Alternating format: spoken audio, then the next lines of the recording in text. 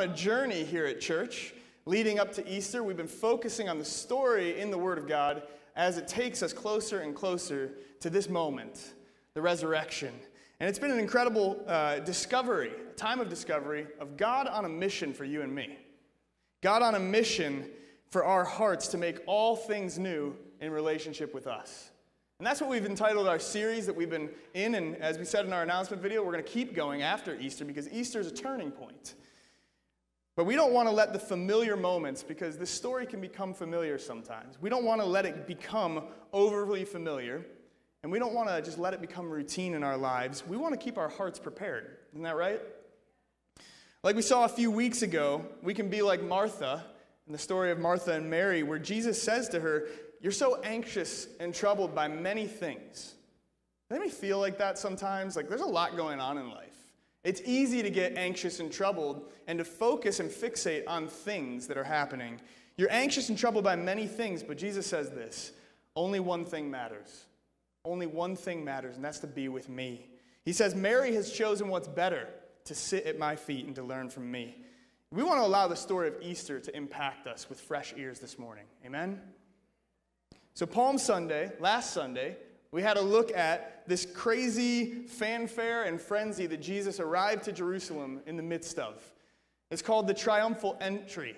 But how many of you guys know that it was a very different kind of triumph that Jesus had his eyes set on than what they had imagined for him?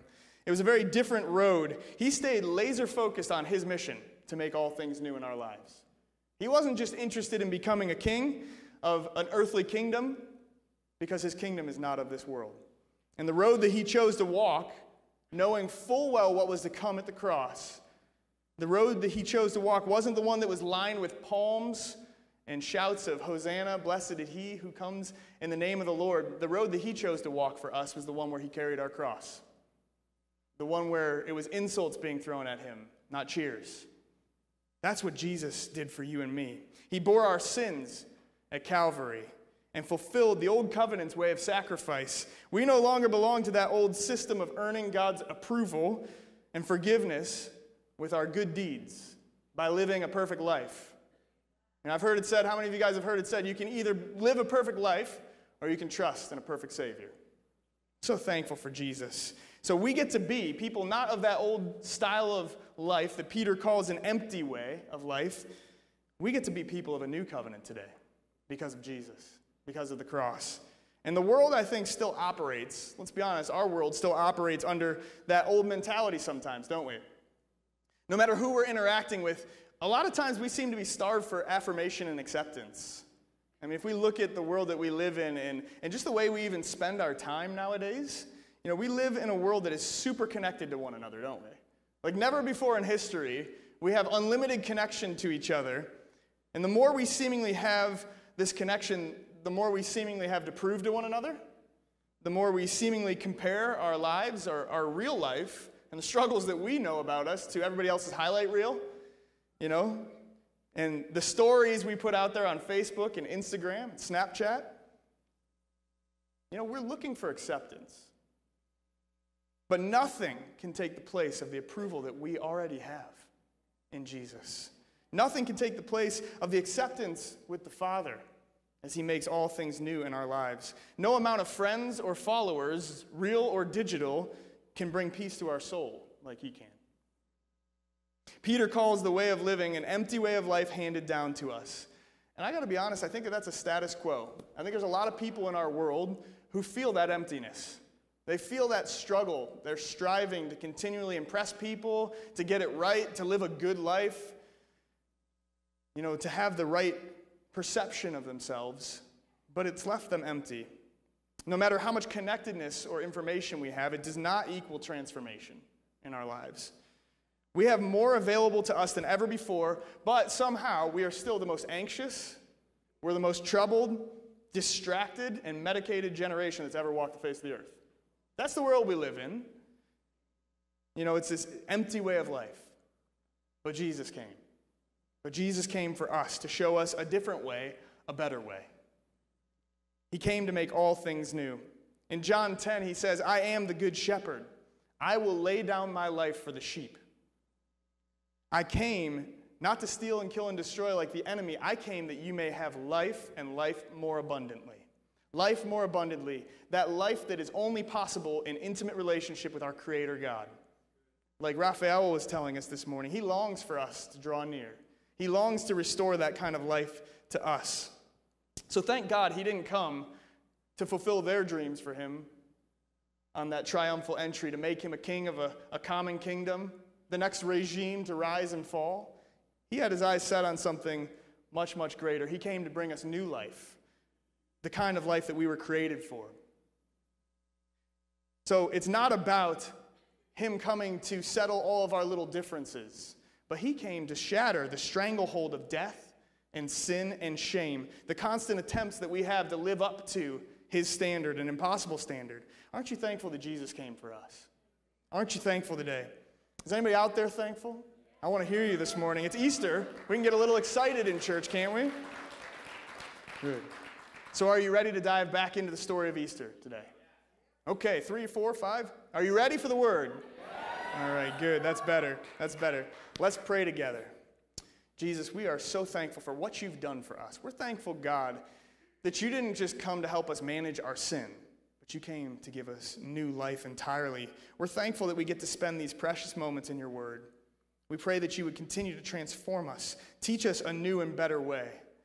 Holy Spirit, this is your word, and we pray that you would illuminate it in our hearts today, that you would help it to come alive, that every single person who hears the sound of my voice would latch on to even just a thought today of how much you care for them, how much you desire an incredible relationship with them, how different that is, this old way of life that's passing away because the new has come in Jesus. We're so thankful for your love. Let our hearts just rest in peace in that amazing forgiveness and love that you bought for us on the cross. We pray that you would teach us to become your followers in Jesus' name. Everybody said, Amen. Amen. So, how many of you guys like to read out there? Anybody? Oh, yeah, that's pretty good. I mean, that's, that's pretty good. Laura and I, we like to read. We like to read a lot, actually. We love to read books, whether it's, you know, whatever kind of book, whether it's a spiritual book or a lot of novels. We love novels. Anybody love to read novels out there? What's a good story? You know, it just does something in us. And when we read, we oftentimes will we'll buy two books. I know it's kind of crazy because, you know, we're both reading, but then she can't take it to work and I can't, you know, take it to work and read on our, our spare moments. It's kind of funny though because she's been very busy lately and so I've been able to read ahead in the in the books that we're reading. And she's terrified She's terrified that I'm somehow going to let something slip and ruin something for her. You know, I mean, if you, if you like to read, you maybe you can empathize with her. Or maybe you're one of those people who like it gets to an intense moment in the story and you're like, I'm just to peek ahead a couple pages just to make sure everything turns out okay. Does anybody, does anybody do that? All right, Kim, all right. Loud and proud, yeah. Yeah, everybody, there's some people in the, in the audience just judging you if you raise your hands. Like, that's sacrilegious. You can't skip ahead. You don't get to know the ending ahead of time, right? I love reading. I love reading stories. And you know, the Bible is the greatest story that's ever been told.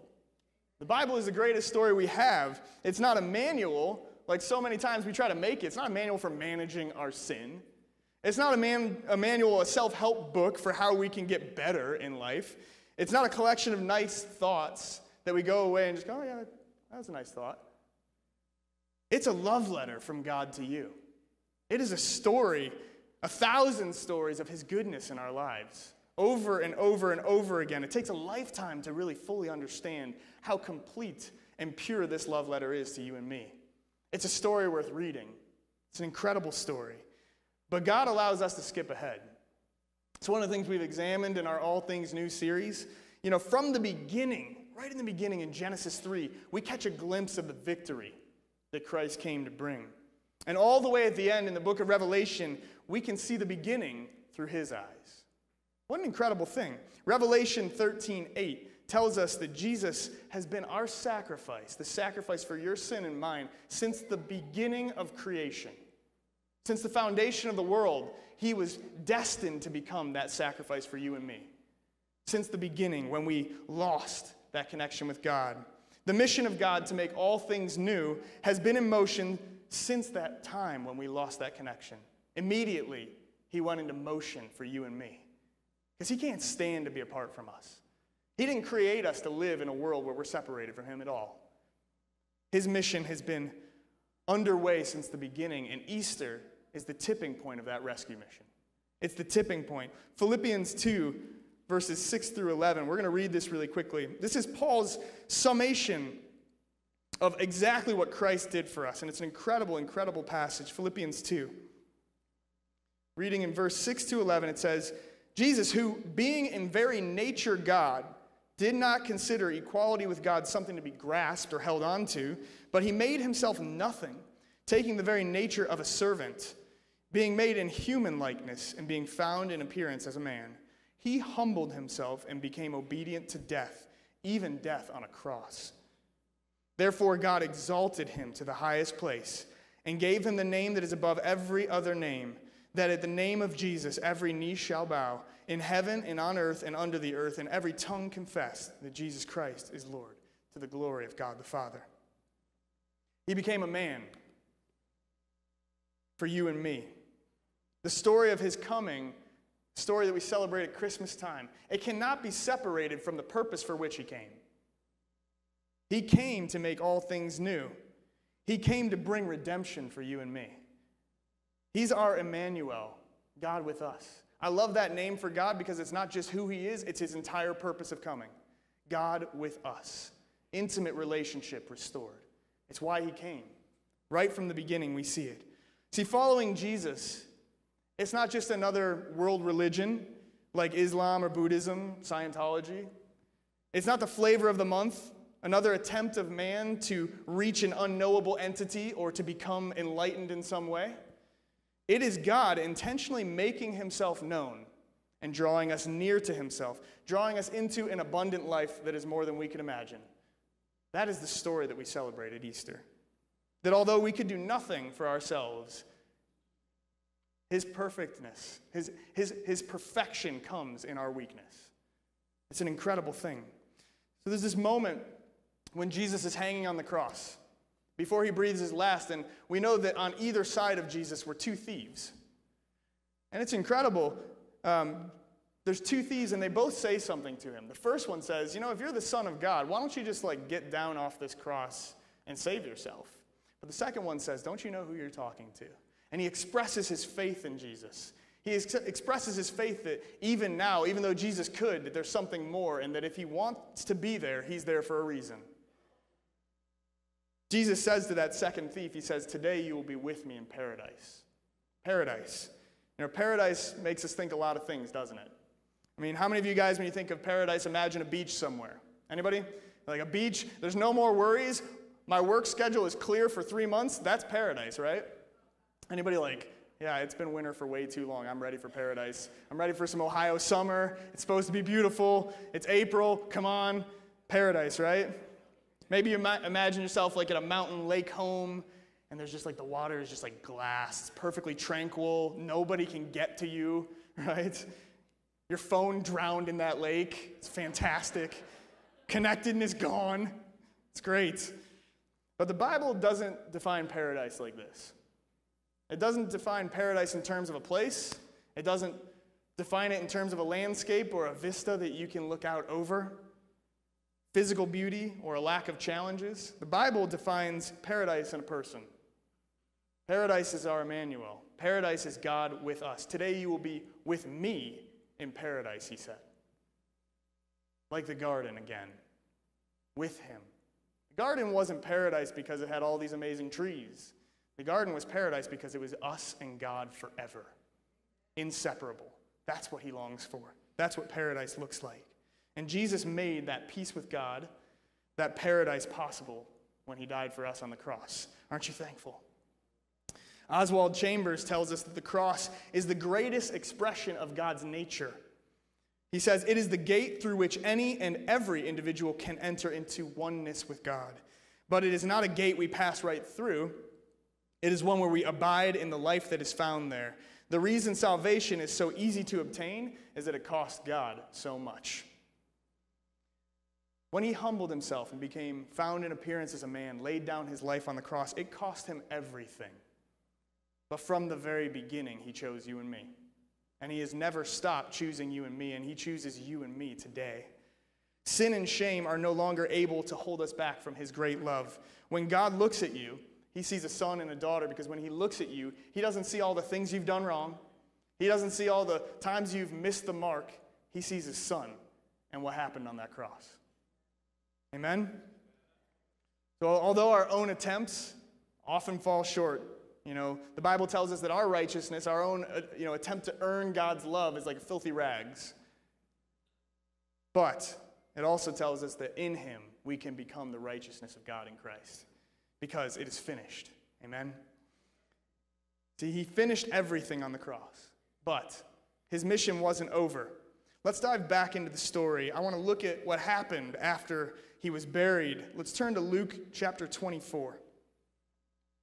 I want us to read just a few verses together.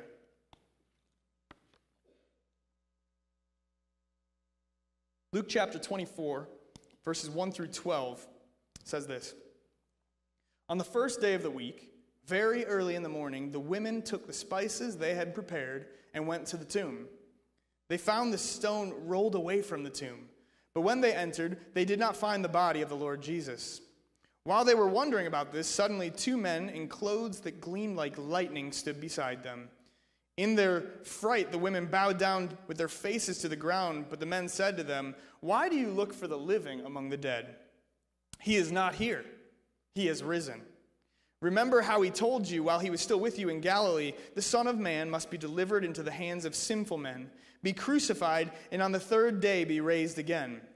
Then they remembered his words. When they came back to the tomb, they told all these things to the eleven and to all the others.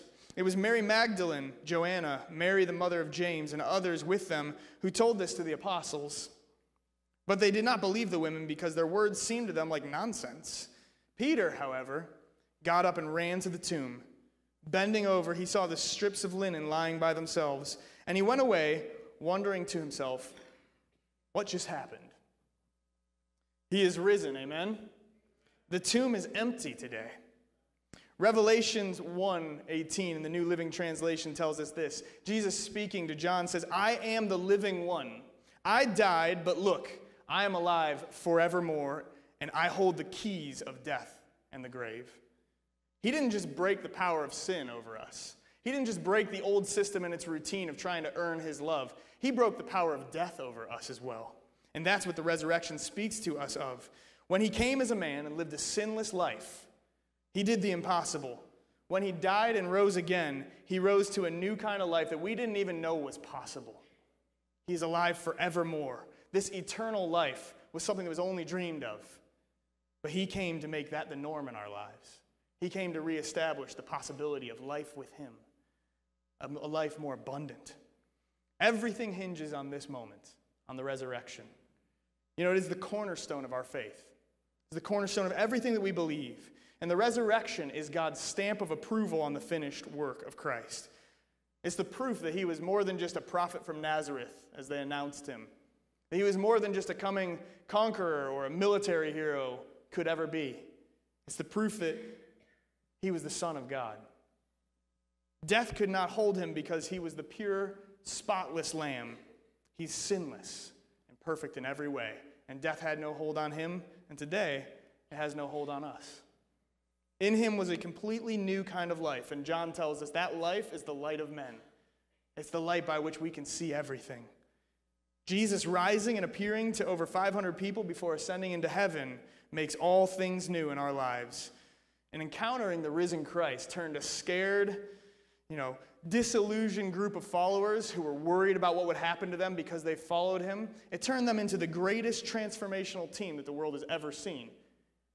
And just think about how many churches are meeting today in Cleveland area alone that came from just a handful of followers who were terrified that day. The resurrection invites us into a new life. As his blood covers our sin and shame and makes us people of a new covenant, his resurrection empowers us to be people of new futures in him. No matter what has gone before, there is a new future for you in Christ. Romans 8 tells us that there is now no more condemnation or shame for us who've been chosen to be his. On the contrary, not a single thing in heaven or on earth or below the earth, no angels nor demons, no powers or principalities, nothing can separate you from his great love. Nothing at all because of what the resurrection means for you and me. I love that this story, Luke fills us in on the character of Peter. How many of you guys love Peter in the Bible? You know, Peter was the guy who got it wrong a lot. He was the guy who was constantly sticking his foot in his mouth. And he was also, at this moment, he was the most ashamed of all of them. You know, he was terrified of what exactly was about to go down because his last actions. Have any of you guys ever like said some things to your children or maybe your family before walking out the door and then you're like terrified that something's going to happen that day and you're never going to get to apologize to them? That's where Peter was. He was the most ashamed because before Jesus died, the last thing that he did wasn't to tell him how much he loved him, wasn't to reaffirm what he had said to him so many times before you are the Christ, the Son of the living God. The last thing Peter did was to deny him three times. Jesus saw it happening. Jesus looked up at him, and Peter felt the anguish of the soul of what it looks like to, to not stand up for what you believe in. And he was so ashamed. He was so ashamed. His last actions were to deny him three times. But when the women returned from the tomb, and they tell their story, which sounds like nonsense. He's, a, he's alive again, he's risen. There's this glimmer of hope. And what does Peter do? He takes off running. He takes off running to see the risen king. Peter is a picture of the followers of God. And let's be honest, so many times he's a picture of you and me. You know, we've gotten it wrong a whole lot. But he goes from being a scared and ashamed young man who constantly said dumb things and got it wrong all the time, to speaking boldly before crowds of thousands with supernatural wisdom and understanding of the scripture that there's zero chance that he had enough lifetime to even absorb because of the power of the Holy Spirit working in him. What happened that made this change happen? His fears and shame were completely shattered in the presence of the risen Jesus. They were completely shattered. Isaiah 43, the Lord tells us this. Forget the former things. Don't dwell on the past. See, I am doing a new thing. Can you see it happening in your midst? That's what the Lord calls us to see. And I got to tell you today, it's okay to let go. It's okay to let go of the past. It's okay to leave some things behind.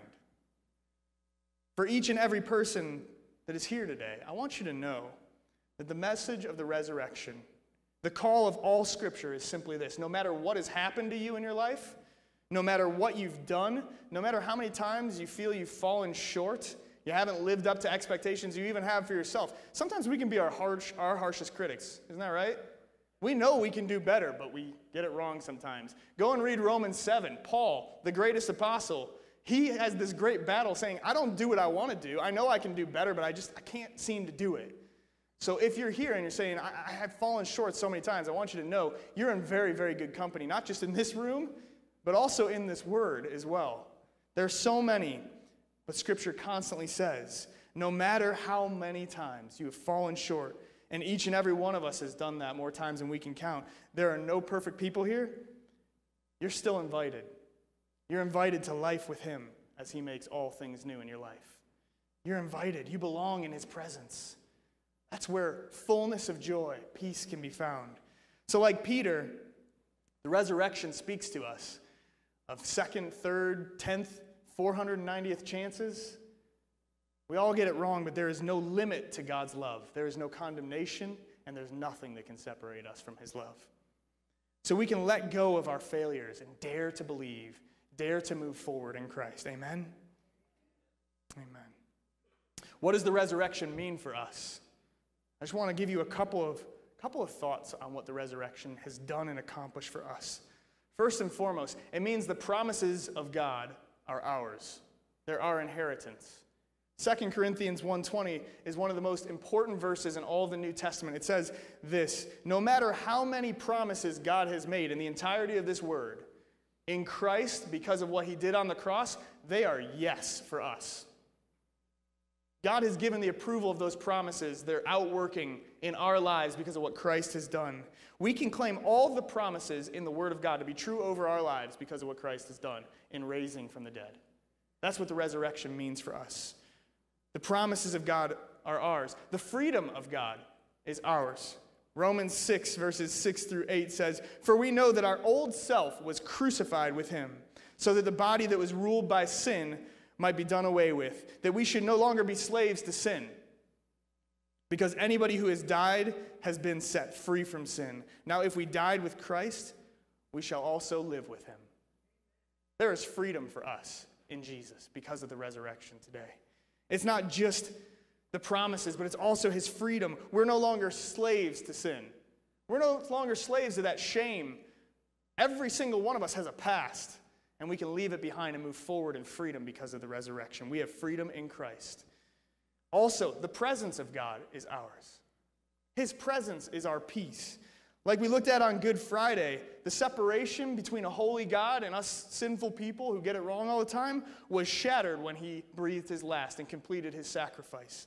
At the very end of Matthew's gospel, the Great Commission, he sends forth his followers, but what does he say to them? The very last thing that Matthew captures. He says, I am with you always, even until the end of the age. I'm with you always, Emmanuel, God with us. That's why he came.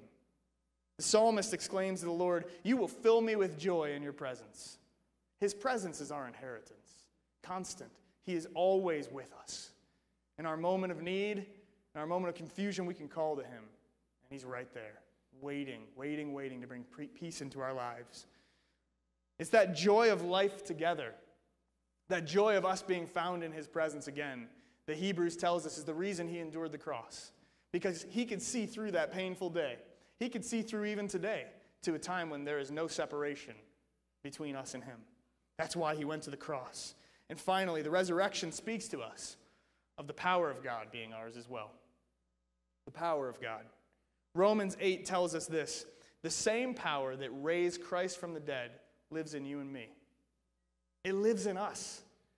That power which raised him, brought him back to life, raised him to a new life where death has no hold on him, where sin and shame, shame are broken, that is the power that we can walk in because of the resurrection. Amen? Amen. So today, I want us to recognize just how important the resurrection is.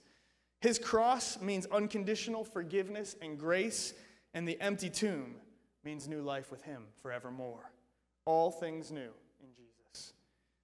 So today, I want you to know that every single day that you walk this earth can be Easter. Every single day is meant to be Easter in your life. Every single day, He is risen. Every single day, you can walk in His freedom. You can walk in His promises. You can walk in His power. You can walk in His presence every single day because of the resurrection. Today, we are people of a new future.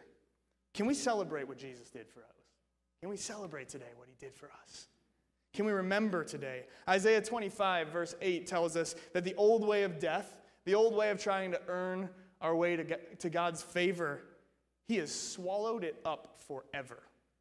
That's what Isaiah tells us. Mission accomplished. It is finished today. Amen? Our world doesn't need more information. We don't need more computers. We don't need more encyclopedias. We don't need more information. We need truth the truth of the resurrection. We need the truth that we can walk in freedom, that we don't have to be bound anymore in our sin, in our shame, in our past, in our hurts, in what people have done to us and what people said about us, there's not a single thing that we need to be bound by because of the resurrection today. He swallowed it up forever.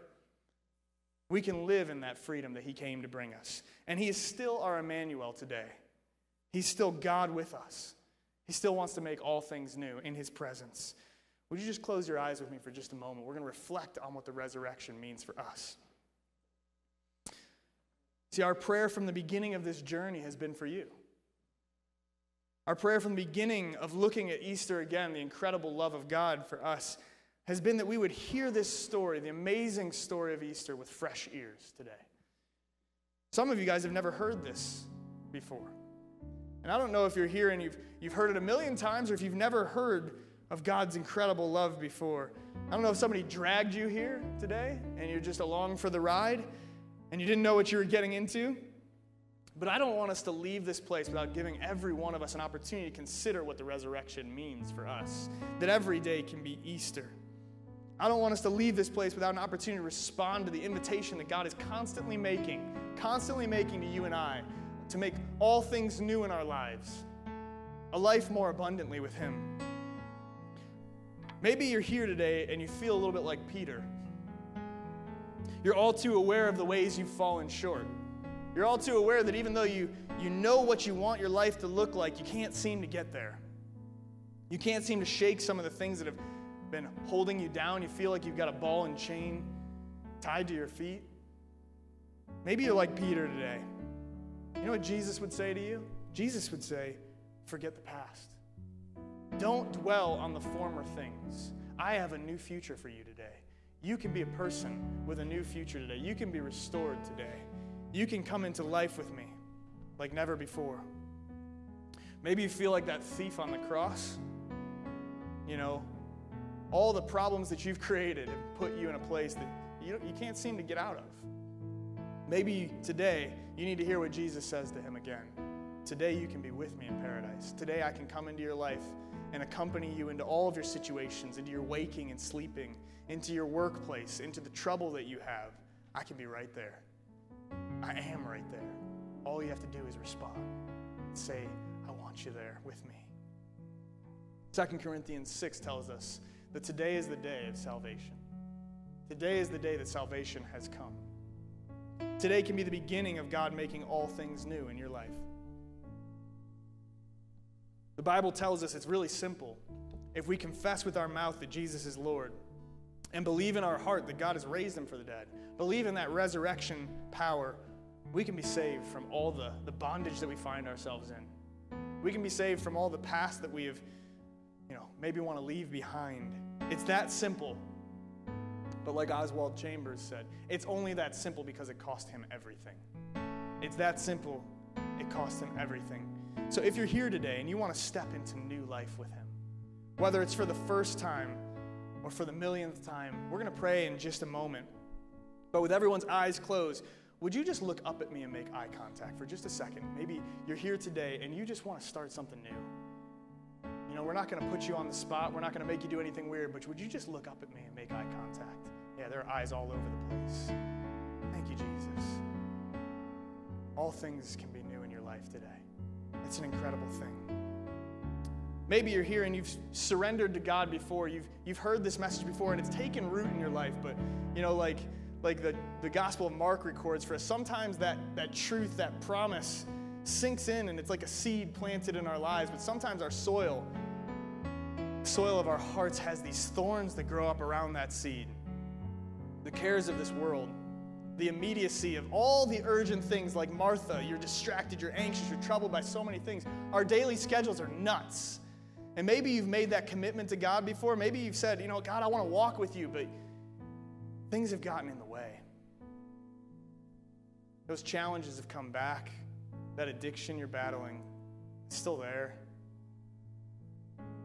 Maybe you just want to say, God, again today, I just want to I want to make all things new. I want you to come and do a new thing in my life. I want you to help me forget the former things and to move forward into a new future with you. If you want to take that step as well, if you want to just invite God and say, I want a fresh start today, would you just look up at me as well? Yeah. Again, there are eyes everywhere. Amen. Amen. There's nothing that He desires more than life with us. It's why He came. It's the joy that was set before Him that He endured the cross to bring us. I want to invite us to do something as we close our service today. Would you just stand with me? Just all over this, this sanctuary. Would you just stand to your feet? You know, we're a church family, and so we're not afraid to do some family style things. Every once in a while, we like to do this. Would you just grab the hand of your neighbor? And maybe if you're here and there's nobody next to you, you can reach across the aisle. You can reach, you know, to the row in front of you. Just hold somebody's hand in this moment. This is a family moment. This is a faith filled moment. There are so many people who, who locked eyes with me to say, God, I want you to make all things new in my life. And the beauty of the resurrection is that we can have that. We can move in His power. We can experience His freedom and His presence today. And we can claim that the promises of God to make all things new in our lives will come to pass. Do you believe it? Amen. Amen. Well, if you want to pray this with me, we're just going to simply extend our faith together. Just repeat this after me. Just say, Dear Jesus, I thank you that you are making all things new. Today, I let go. Today, I leave the past behind to move forward with you. Would you forgive my sins and cleanse my heart? I thank you for coming with me. I thank you for dying on the cross and for being raised to new life, an eternal life, with new life for me as well.